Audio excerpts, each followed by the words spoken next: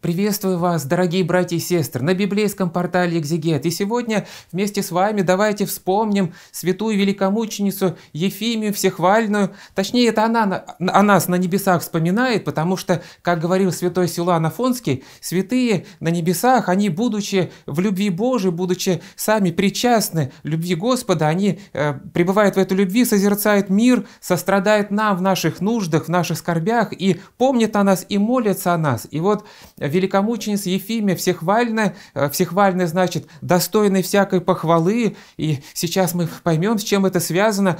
Э, э, она прошла на самом деле через всю вот историю православной церкви, и даже есть особый праздник, который называется «Чудо Ефимии Всехвальной», когда она утвердила православие, и мощь ее в Константинопольской церкви, кстати, покоятся они в серебряной раке, изготовленной русскими людьми, и там так сказано, а, написано даже на этой серебряной раке, а, в дар Константинопольской церкви от э, благочестивых русских жертвователей. И, конечно, с ней было много связано всевозможных чудес в древнее время, и а, благодатная помощь приходила от ее мощей, там, мироточивых в каком-то смысле, даже кровоточивых, благоухающих святых мощей, и много помощи было и в наше время. И вот мне хочется прежде прежде всего вспомнить, как святая великомученица Ефимия, она явилась, ну, практически вот уже в наше время, она явилась преподобному Паисию Святогорцу,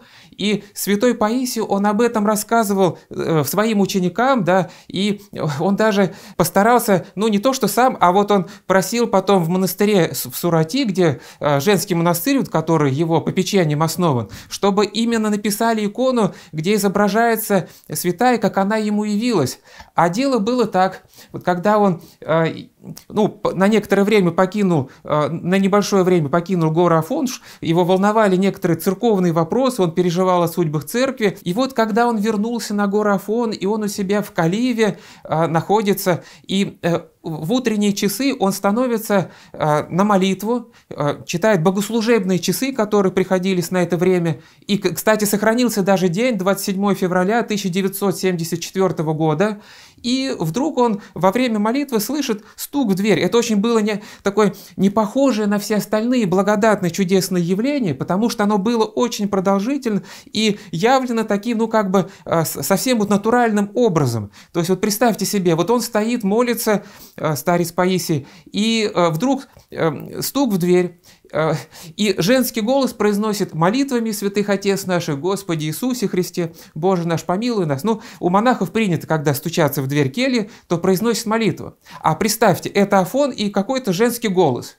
И он, старец Паисий, он сам это рассказывал ученикам потом, говорил, э, я удивился, откуда это вот на фоне э, женский голос. И, ну, я спросил, кто там?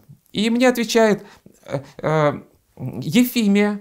Думаю, какая еще Ефимия, как вообще сюда женщина э, пробралась, ведь э, что же, может какая-то сумасшедшая, которая вот как-то там переоделась, про, э, про, что же мне теперь делать-то? Второй раз стучит, он опять говорит, кто там? Ефимия.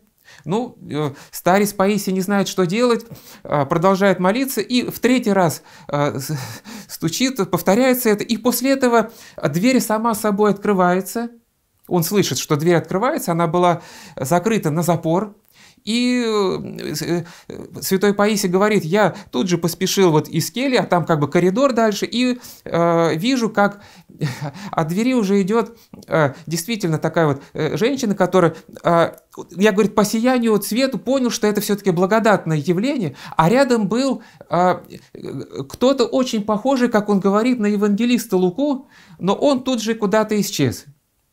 И э, я спрашиваю, кто ты? Я мученица Ефимия. А, ну, если ты э, действительно святая Ефимия, говорит старец Паисий, то тогда пойдем в храм, поклонимся Святой Троице. То есть он решил ее испытать. Впоследствии преподобный Паисий, он тоже вспоминал, что он слишком так вот э, тщательно, дотошно ее испытывал. Ну, на самом деле в этом э, верность такой святотеческой традиции, что не стоит сразу сходу доверять каким-то вот явлением духовным, да, а лучше э, проявить особую осторожность, и Господь за это только тебя вот похвалит. Ну и вот он говорит, пойдем в храм, поклонимся Святой Троице. И вот старец Паисий проходит в храм, там храм э, маленький, как бы примыкающий к келье, и это вот есть калива, где э, и келья, и храм, такой, ну, домовый храм. И вот старец Паисий, он так вот это рассказывает, «Я делаю земной поклон со словами «Во имя Отца, и, значит, э, святая Ефимия повторяет, тоже делает земной поклон и произносит во имя Отца. Я, говорит, дальше э, произношу и Сына, то есть делаю второй земной поклон. А она э, тоненьким голосом тоже повторяет за мной и Сына.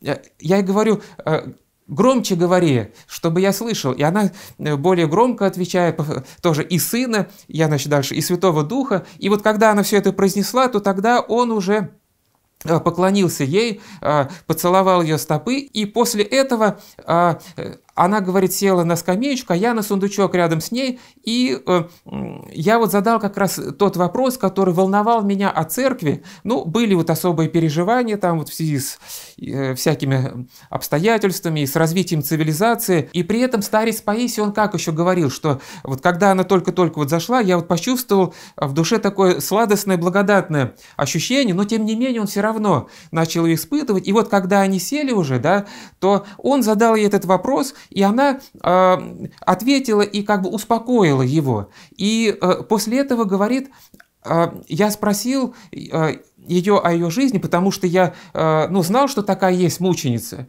но житие ее, в общем, не помнил. Может быть, не особо читал, ну или читал давно и не помнил. Да как, собственно говоря, и все мы, да, вот мы слышим, что есть такая мученица Ефимия, а что ее за жизнь? И, в общем, она сама ему стала рассказывать. Вот, к сожалению, он не передал вот этой э, беседы полностью, подробно, как она описывала, э, через какие мучения она прошла, но он так говорит, что э, когда я слышал, то просто вот меня брал вот ужас от того, э, что она претерпела, да какие страдания, боль, то есть у меня просто, вот, говорит, сердце замирало от того, что я слышал, и тем более говорит, что я видел, что она очень хрупкая и нежная. То есть он даже так говорит, что если бы это была такая какая-то сильная женщина, которая в теле, это одно дело, а тут непонятно, э, на чем вообще душа держалась. То есть очень хрупкая, нежная и э, такая вот, а, в общем, которая казалась совершенно э, ну, слабой такой, неустойчивой, ну, чисто физически. И однако же она претерпевает вот самые страшные мучения, и он ее спрашивает, как же ты смогла все это вот претерпеть?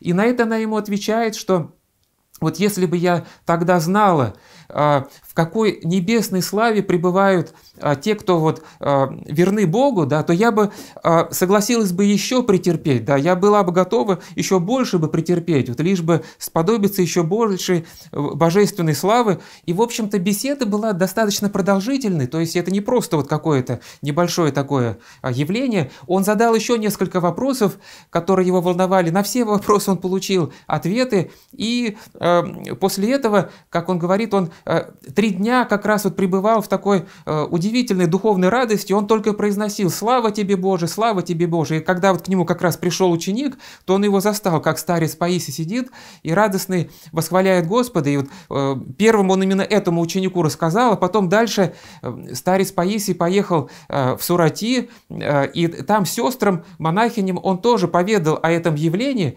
и как раз он э, описал, как она ему явилась, и попросил, чтобы они э, вот так вот написали ее образ на иконе, да, и потом старец даже сам изготовил гравюру, потому что он владел разными ремеслами, и вот на стале он вырезал образ э, тоже святой э, Ефимии, э, и вот потом эта гравировка, она ложилась, в общем, на, на дерево, и он вот эти изображения он дарил тем э, людям, которые приходили к нему, ну тоже в такое утешение, как бы напутствие благодатное. Но он говорит, что никак не удавалось, когда вот эту гравировку он выполнял, да, э, что одну из рук никак не удавалось выполнить, и он говорит, что вот может быть это мне за то, что я слишком долго испытывал святую Ефимию. Э, да, и вот у него и в его письмах, в его наставлениях время от времени мы видим, что он как бы возвращается именно к святой Ефимии всехвальной, И он э, говорил так, что вот э, больше вот из всех святых, да, как бы, ну, после Божьей Матери, он более всего чтил как раз святую Ефимию Всехвальную. Ну, может быть, именно потому, что вот она удостоила его такого особого посещения. Ну и, конечно, потому, что и в древности она утвердила православие, и вообще она э, отличалась удивительным образом жизни. А сама она происходила из Халкидона. Халкидон – это предместье э, Константинополя, э, это вторая половина третьего века. Ну, Константинополя тогда не было, там был гор, такое селение Византион, отсюда Византии пошло название Византии, на том месте создан был Константинополь, отсюда как бы Византийская империя, но Халкидон там существовал, и вот а, если вот смотреть именно древние сведения, вот, к сожалению, старец Паисий, он а, подробно не описал то весь а, разговор с великомученицей Ефимией, но уже от IV века есть некоторые свидетельства о ней, и что там мы можем почерпнуть то, что она э, была христианкой с самого начала, и она была знатного рода. Вообще вот этот, э, ну, титул, что ли, скажем так, лик святых, великомученики, великомучениц, он что означает? Он не только то значит, что э, этот святой или святая претерпели великие мучения, да, не просто мучения, как бы великие мучения. И это тоже значит, но э, с древности это относилось к святым знатного рода, высокого рода. И э, вот они за Христа претерпели страдания, поэтому назывались великомучениками и великомученицами. Отец ее был сенатором по имени Филофрон, супруга его Феодорисиана. И, э, судя по всему, это была христианская семья. А вот Ефимия, она с детства уже тянулась к Господу всей душой, чтобы провести жизнь свою в девстве. Вот это уже в IV веке те, кто э, описывали первые такие вот э, агеографические воспоминания о ней, первые житийные записи, и там уже сохраняется, что она девство свое решила посвятить Господу Богу. И была вот она совсем юная, ну, мы не знаем, сколько точно ей было лет, там 16, 17, может быть, 18 лет, ну, примерно вот так, да. И наступает великое гонение, при Диоклетиане, да, то есть это 303 год, потом 304 год. Ну, Диоклетиан, он считал себя таким как бы восстановителем древних римских обычаев, порядков, и христианская вера, она как бы не вписывалась, потому что э, считалось, что она, ну, понятно, да, там э, римская языческая империя, она базировалась на вере в этих вот всевозможных там богов, а боги народов суть бесы, как сказано в Священном Писании, да, то есть демонические силы, они обольщали через вот эту мифологию людей, и все э, боги э, в мифах, они, у них все те же самые человеческие страсти, да, то есть они друг с другом припираются, там, э, женятся, изменяют друг другу и так далее. То есть все те же самые человеческие страсти, соответственно, когда у богов страсти, то у людей тем более будут страсти. И Евангелие, вот эта чистота Христова, она была необычным для вот этой римской традиции, такой лжерелигиозной, и поэтому, когда Диоклетиан, он хотел э, восстановить строго римские обычаи, то понятно, что э, Христова вера, она никак в это не вписывалась, и он предписывает уничтожать священные книги потом, значит, э, уничтожать всех священников, потом и храмы закрывать, и богослужение христианское упразднять. И, и это все распространяется по местам, и 303-304 год больше считается, что святая Ефимия, она пострадала в 304 году, и в Халкидоне э, проконсул, то есть поставленный императором особый наместник по имени Приск, он предписал вот всем явиться для поклонения богу Арею, э, бог войны, такой воинственный как бы языческий бог, и что все должны принести ему жертвоприношение, как бы посвящая не только жертвенных животных, но в каком-то смысле и свои души этому языческому богу.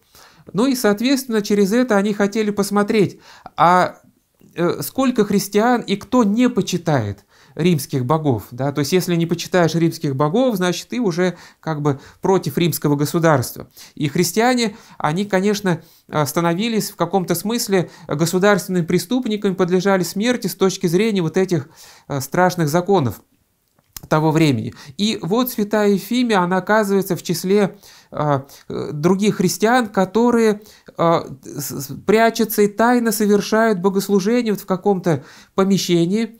Там причем даже в некоторых описаниях говорится, что их было вот 49 таких христиан, и она вот среди них молятся, пребывают в духовном делании, и вот кто-то на них донес – кто-то открыл их место, и тогда туда приходят э, воины, посланные вот этим приском, они начинают хватать христиан, вытаскивать их оттуда, э, ведут на судилище, потом э, кидают их в заключение, и около там 20 дней их всячески пытаются склонить склонить к принесению жертв языческим богам. Над ними издеваются, да, их морят голодом, их бьют.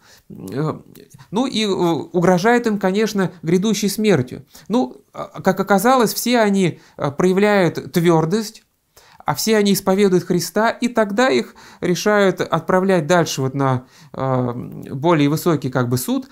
И при этом что? Обратили внимание на святую Ефимию, что вот она действительно как бы э, выделяется среди них, ну такая вот слабенькая, хрупкая девушка, то есть, э, наверное, легче всего будет ее как бы э, из их среды извлечь, да, и обработать одну ее, и вот она по-быстренькому там отречется, ну, хотя бы вот будет одна обратившаяся в язычество. И вот так решили сделать, как волк похищает овечку вот из стада, да, так вот они думали провести свое вот это страшное дело, и берут ее Э, одну и уже пытаются одну ее принудить к отречению от Христа. И тут вдруг оказывается, что внешность может быть обманчивой, она казалась слабой, хрупкой, а внутри вдруг являет удивительную твердость, прочность. Почему? Потому что она любит Господа Иисуса Христа. И э, любовь выражается в верности. И поэтому она настолько вот э, твердо исповедовала Христа, что, ну, хоть что, хоть каким мучением там предавайте. И, в общем-то, э, судя по вот этим сохранившимся житийным описаниям, действительно были достаточно страшные страшные истязания. Мы, конечно, не будем так вот подробно описывать. И э, святой Паисий Святогорец, он тоже не стал все это пересказывать, а говорил, что он э, просто вот с, ужасом слышал, через что она прошла. Но кое-что вот мы все-таки можем э, привести как некое свидетельство ее э, любви к Богу, да, верности Христу. И, э, ну, например, вот э, ее привязывают к колесу, да, и колесо начинают вращать над э, острыми вот этими ножами, которые э, над ней э, находится. И эти ножи начинают разрезать ее тело, да, и части вот тела разрываются, и э, суставы там э, тоже раз, раздираются, все это вот описывается, и она все равно э, верна Господу, она все равно хранит э, ему верность, она не отрекается, и после этого, да, там, конечно, э, вот если посмотреть уже сложившиеся географические памятники, то что мы читаем? Что ангел ее укреплял, и после вот этого э, подвига самого первого, э, она получила некое такое даже чудесное исцеление, но на этом не, э, испытания не закончились. После этого, значит, ее решили сжечь в огне, и рас, раскалили печь, но двое из воинов по имени Виктор и Сосфен, они увидели, что э, святую Ефимию защищают, ограждают ангелы. Ангелы находятся рядом с этой печью, и они вдруг поняли, что э, все их язычество – это ложь, что сами они служители зла, а святая Ефимия, она поддерживается божественной и ангельской силой. И вот эти двое воинов, Виктор и Сосфен, отказались выполнять приказания мучителя, и э, их, конечно же, тоже схватили, и, в общем, так вот появляется еще двое мучеников да, из числа мучителей. Те, которые вроде должны были ее казнить, они сами становятся христианами, исповедуют Господа и принимают страдания, и, в общем, мученическую смерть за имя Господа Иисуса Христа. И мучитель приказал другим воинам, чтобы они бросили э, святую Ефимию в эту печь, чтобы огонь коснулся ее тела. И вообще вот когда читаем мы житие э, святых мучеников и исследуем то, что, э, ну, исторически вот относится к ним, мы как бы видим здесь две составляющие. С одной стороны, это просто какие-то неописуемые, жуткие истязания, которые придумывает человеческое воображение, да, вот испорченное дьяволом человеческое воображение для того, чтобы как бы доставить как можно больше боли другому человеку, ну, который вот иначе верит, нежели вот эти язычники. Но с другой стороны, есть как бы вторая сторона, это то, что Господь укрепляет своих мучеников, Господь не оставляет их. И даже вот опыт новомучеников 20 э, века, он о чем свидетельствует? Что а, вот те, кто проходили через застенки, вот эти лагеря, да, всевозможные стязания, что именно там присутствие Божие чувствовалось наиболее явно. Именно когда ты э, вот тоже восходишь на свою Голгофу по образу Христа, то это значит, что и Христос – он тоже вместе с тобой и проведет тебя тоже к воскресению. Он не даст тебе погибнуть в этих муках и страданиях. И вот а, святая Ефимия, она в этом огне не погибла. То есть Господь сохранил ее. И там, конечно, повторим, было много всевозможных истязаний. Вот уже в IV веке а, была написана икона, где изображались а, в том числе и орудие пыток, вот святой Ефимии всехвальный, это описывает святитель Астерий Амасийский, который первое такое похвальное слово написал уже в IV веке э, в честь святой Ефимии, это то же самое столетие, когда э, святая Ефимия окончила свой жизненный путь, и там описывается, например, среди орудий пыток э, молот, а еще бурав. А бурав это что? Орудие для сверления. Вот представьте себе, да, что они делали. То есть действительно истязания были страшные, но Господь ее сохранял. Тело, конечно, наше тело не бессмертно, тленно, оно подвержено э, всевозможным вот этим э, разрушительным действием, но Господь через это может провести и спасти, подать необычайную божественную духовную славу. И святая Ефимия ныне вот с небесного мира в виде нас, она, конечно, э, подает благодатную помощь тем, кто к ней обращается, то есть она приобщилась просто вот удивительных божественных даров. Да, а вот когда она терпела эти страдания, там, например, были еще так, такие тоже муки, что ее бросили а, в ров, наполненный змеями, всевозможными там ехидными, какими-то гадами земными. Ну, представьте, допустим, скорпионов, пауков, и вот э, юную девушку ее туда бросают, в это страшное логово какое-то. И Э, но и через это она тоже проходит. А почему? Потому что она, понимаете, вот своим сердцем с Богом. Когда ты сердцем с Богом, то какие-то вот страхи внешние, они становятся как бы, ну, действительно вне тебя. Потому что если Господь, Он в тебе, то то, что снаружи тебя, оно не может причинить тебе всесокрушающего вреда.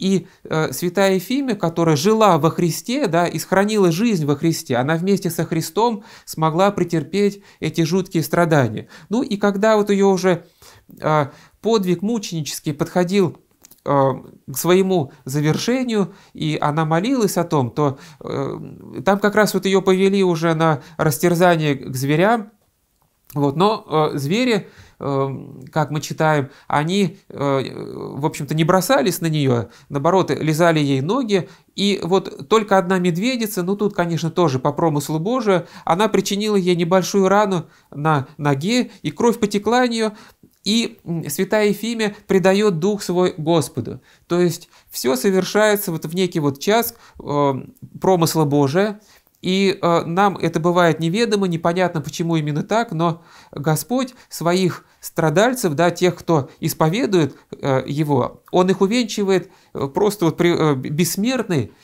непонятной нам, земным непонятной, неописуемой светоносной славы. В мире будете иметь скорбь, но мужайтесь, я победил мир, так говорит Господь. Он сам прошел через крест, через страдания Голгофу, но явил воскресение, победу над смертью. И это воскресение, эту светоносную славу он подает своим причастникам. А таковой как раз являлась святая Ефимия. Что еще известно? То, что э, вот ее тело, э, брошенное язычниками, э, это тело находит родители ее. И они похоронили рядом с городом ее тело, и потом вот у этого места как раз и был построен величественный храм, И со временем э, мощи ее были перенесены именно в этот храм. И там в особой гробнице, ну, рака такой вот э, изготовлена была, и там положены были ее святые мощи, как раз вот напротив них и была вот эта икона, где изображалась святая великомученица Ефимия и страдания, которые она претерпела, и многие люди стали получать чудеса. И вот э, древний историк Евагрий Схоластик, он это подробно описывал, как э, святая Ефимия, она являлась некоторым благочестивым христианам, призывала их приходить в ее храм, собирать духовные плоды. И тогда что они, там э, сложилась такая вот традиция, что э, открывалось отверстие, в этой вот гробнице. И туда опускался пруд, на, конце которого э, материя, и вот эта вот э, материя, она наполнялась благоухающей кровью. То есть, хотя прошло уже очень много времени, да, а, то есть это как пример такого мироточения, мира, похожее на кровь и при этом благоухающее. Там даже опускалась не материя, а как бы губка вот на этом пруте, да, и потом с нее выжималась, и вот пузырьки поэтому наполнялись таким благоводным миром. И вот многие люди от этого мира получали исцеление, оно раздавалось в пузырьках, тем, кому было необходимо. И там был даже такой немножко э, ну, курьезный тоже случай, что император, император Маврикий в конце VI века, он решил вдруг, ну, как-то недоверие какое-то, ну, как это так вот, там и, и кровь какая-то, и э, какие-то чудеса, э, рационалистически к этому отнесся, и он решил все это исследовать, и когда он э, приехал, прибыл в этот храм в Халкидоне, то э, неожиданно э, крови стало еще больше вот исходить от святых мощей, вот этого мира благоухающего. И весь храм наполнился благо, благовонием таким, что император Маврикий, он раскаялся в своем пожелании, ну, понял, что тут как Господь через святую угодницу, он преизобильно являет свои дары, и он э, э, признал, что это действительно чудо Божие. И со временем сам этот храм стал называться храмом или базиликой Ефимии Всехвальной,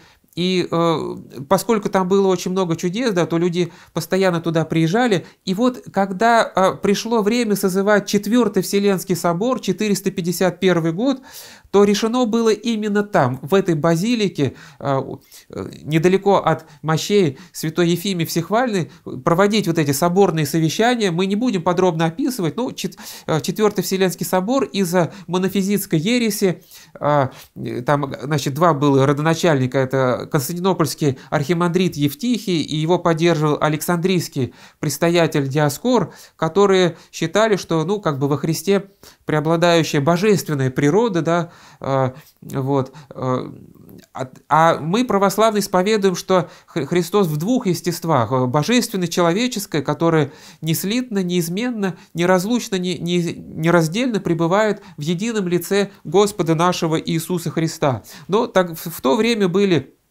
достаточно такие жаркие споры, противостояния, и какое-то время даже гонения на православных.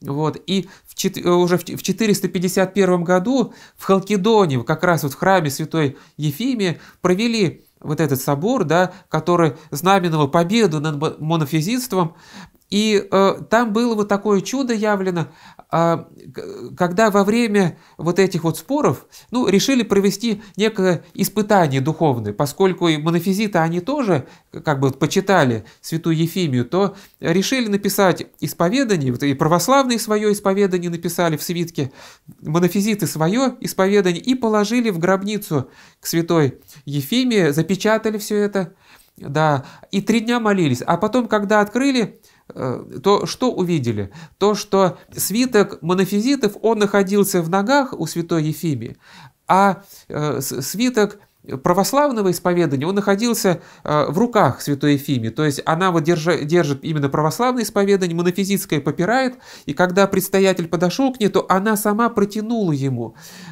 этот свиток, свиток православного исповедания, он принял, тем самым наглядным образом святая Ефимия а, показало, что именно в православном исповедании Христа в двух естествах заключается подлинная истина.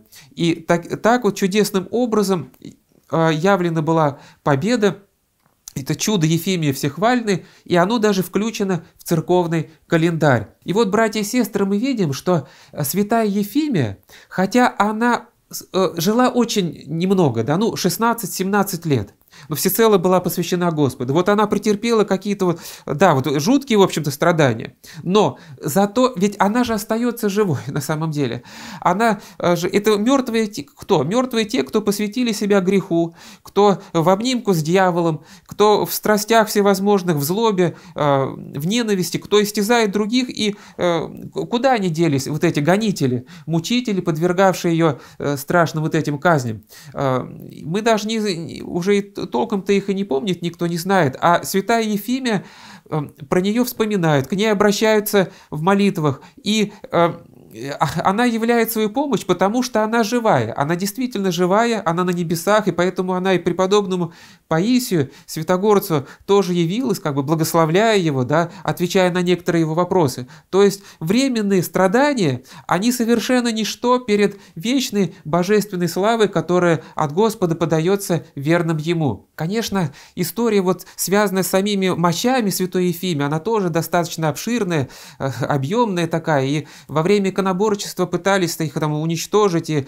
выбрасывали э, в море, а там два моряка э, увидели, думали, ну, вначале, что это может быть ящик с какими-то сокровищами, а там обретают благоухающие мощи, и потом вот они э, молятся, думают, кому принадлежат мощи, прибывают на остров Лемнос, там, где как раз мощи святой мученицы Гликерии, вот молится ей, и она как раз вот является мученицей Гликерии, и упоминает имя Ефимии, вот благодарит моряков, спасших эти мощи. В общем, длительная такая была история, связанная со святыми мощами. Потом они возвращаются в Константинополь, и, как мы знаем уже, там они пребывают. Но самое главное что? Это то, что э, вот мы даже не представляем, какая, оказывается, обширная и богатая э, и чудесная и удивительная жизнь на небесах святых людей. То есть вот то, что у нас на земле, это просто какой-то вот, ну, такой фрагмент, такой сероватый. Вот мы живем в очень узких таких вот рамках временных,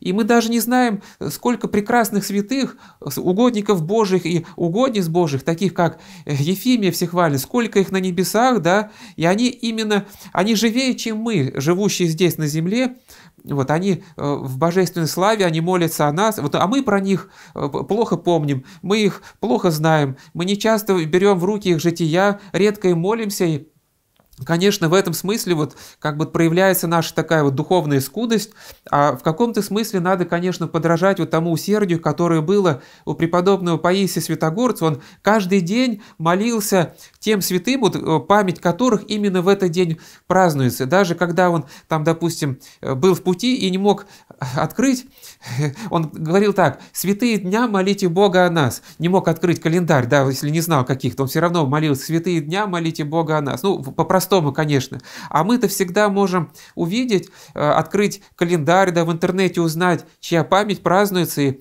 таким вот э, угодником Божьим, как святая Ефимия Всехвальная, молиться, потому что она действительно всехвальная, достойная всякой похвалы, но похвала ее не от людей, она от Господа. И благодать, которая стяжала вот эту угодницу Божию, она просто удивительна. Так что вот помолимся ей, чтобы она своим благословением и нас тоже э, наделила, чтобы мы, вот как и преподобный Паисий Святогорец, также были благодарны ей, э, не забывали ей молиться, и, конечно же, старались почаще читать и вспоминать жития святых. Святая великомученица Ефимия Всехвальная, моли Бога о нас.